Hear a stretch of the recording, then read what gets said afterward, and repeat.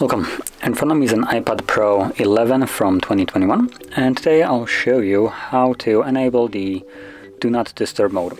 Now to get started you will want to open up settings.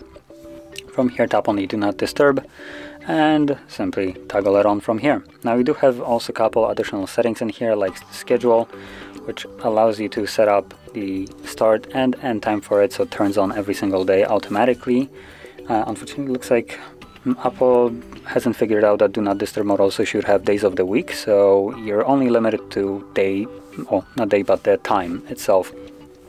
So anyway, uh, and then you also have a couple different uh, settings right here, like uh, silent uh, always or when iPad is locked, so meaning do not disturb mode will uh, work as intended only when, for instance, the device is locked, uh, or always.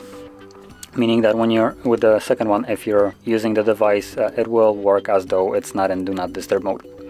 Then if I allow calls from anyone no one contacts so yeah you can choose one and repeated callers so uh, if someone calls you twice uh, within a three minute period the second time around they will be able to get to you basically bypassing this option right here so anyway that is how you turn it on and once you're done with it simply toggle it off once more and there you go.